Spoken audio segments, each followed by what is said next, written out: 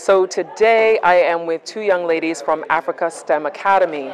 They both have been awarded today for the work that they've been doing. And Africa STEM Academy is headed by Maurice Cheetham, and he has been doing some amazing work getting these young people in Ghana to really know tech. So I'm with Maurice Cheetham, who is the head of the Africa STEM Academy and also the CEO of African Roots Travel. He is African American Ghanaian, and he's been doing a lot of great work in this country. And Thank it's you. really amazing what you've done with these children. Mm-hmm. Yeah. Yeah, it's um, it's, it's a great pleasure. Um, obviously, we have so many great people in the tourism industry to do great things, uh, and just finding a way to give back. Finding a way is to take our resources and the people who we meet in our networks and make sure they trickle down to the community. So obviously, I'm not a STEM guy. I majored in criminal justice, but we wanted to uh, partner with Jack and Jill Brooklyn chapter, who were our benefactors, and develop a project that's sustainable and invested in the youth and allow them to be able to compete on a global scale. So we do coding, robotics, drones, and mentoring. You know, um, so it's a great program. It's in Mamprobi and Mamprobi Basic Four in in Accra, Ghana. So. And what made you choose this particular group of students? Uh, eh, probably selfish. my father, uh, my father who is Ghanaian, um, he's from Jamestown, but my grandmother's house is in Mamprobi, which is two minutes away Okay. from the location of the STEM Center. Um, in my mind, uh, people invested in my father to be able to make it to America. So it's a community feeling. I have to invest in his community and kids need to receive the same from what him. So through them, through him, they receive through what me. That's great. That's Yeah. really great. And Yeah. um, since you started the initiative, what have you seen in the changes in the children since the first day you started to now? Because it's been a couple question. of years, yeah, right? yeah. It's been one and a half years. I don't know where we got two, but one and a One half. kids said two Yeah, we were looking. No, it's, it's been one and a half. Um, you know what we what we really have seen is self confidence. Even before we get to SIM, we've seen self confidence. So we work with a government school that's ranked on the lowest at the bottom of the totem pole. And when I say that is the resources aren't there. So us to work at a school like that, we've seen the kids engage and be proud of their school you know, be proud of what they're doing. And now they're in a community like we do STEM because other schools aren't doing it. Right. So uh, more importantly, even we do certain things, we allow them to sometimes speak in their native language, to speak in Ga. The majority of kids are Ga, um, because we're trying to impart with them is the knowledge is what's most important, and to be you and get the concept. The concept. Don't struggle on English. Get the concept. So we're saying self-development, but surprisingly, a lot of our a lot of our young female scholars are the ones who are really they're flourishing. They're flourishing. That's amazing. They're flourishing. Uh, they're on their second level, STEM with CodeCombat. So yeah, they're flourishing. That's good. I'm so happy to hear that. Yeah. I am with two young ladies from Africa STEM Academy. They both have been awarded today for the work that they've been doing. And Africa STEM Academy is headed by Maurice Cheetham, and he has been doing some amazing work getting these young people in Ghana to really know tech and to learn the skills necessary in order to be able to be the people of the future who are moving this country forward using their technology skills. Alexis. So, Alexis, please, I would like to hear how old are you and how long have you been doing tech? Um, I'm 15 years. You said how? How, long have you been in the Africa STEM Academy? Yes, I would say two years. Two years. Yes. Oh wow. So for two years, that's that's really good. So and we have Josephine here. Josephine, how many? How old are you and how many I'm years? 15 years old. Hasn't got. It has gotten to a year and some days. Mm-hmm. Yes, when we started with this coding class. I would like to know. Did you know anything about coding before you started this class? No, we wasn't having any idea about coding till we started this class. And what is it that you've learned most about how coding can help you? Coding can help. Um, let's take it as we want to do both to move to other place. Yes. And something like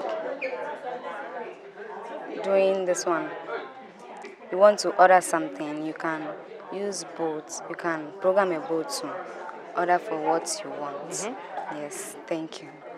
So, have either one of you programmed something that you started to use? Not yet. Yes. Not yet. Okay. Started with a CodeCombat. We hasn't gotten to where we code something. Okay. So the competition that you both were in, what did you do in the competition? And Because you had a competition, Essay competition. Oh, okay. the essay competition. We googled beyond everything some pillars, then we add some idea to it. Yes. And what did you write about it? What did you learn about it? I learned it is a follow up to the successful year of return in Ghana 2019. It commemorated the 400th anniversary of the first enslaved Africans in Jamestown, Virginia in the year 1619.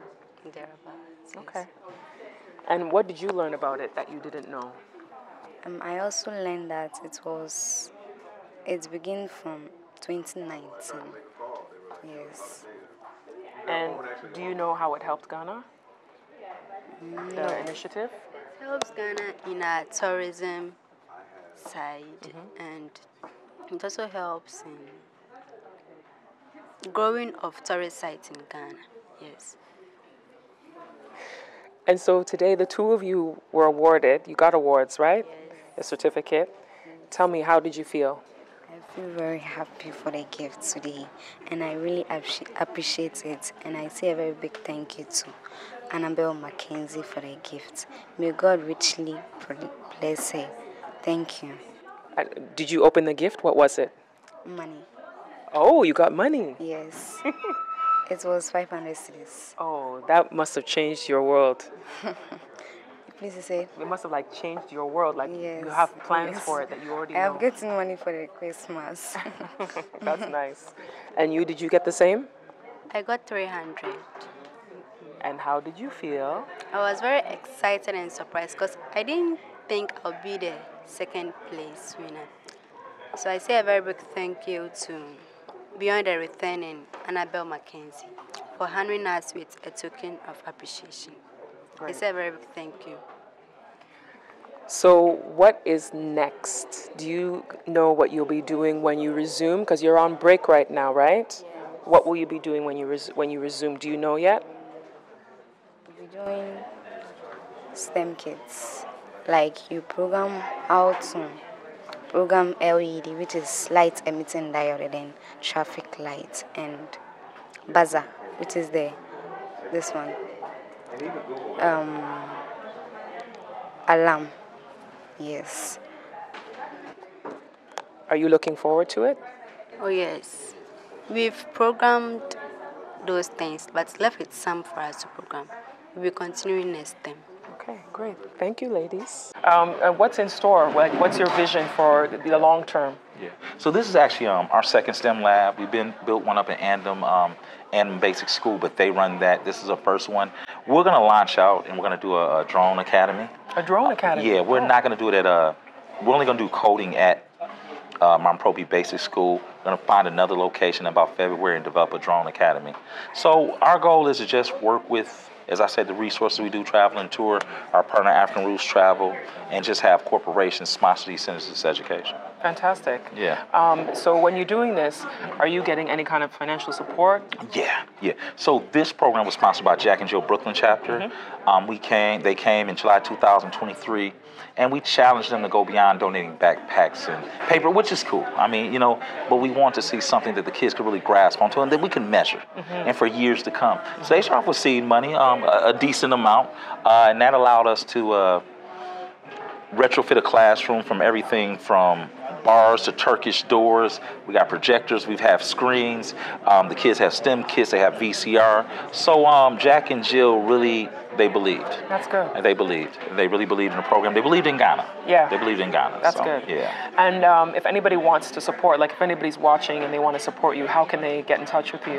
Please go to the website www.africastem academy. Um, you can reach me directly on WhatsApp 233 um, 5930637779, or you can email me at info at africastemacademy.com.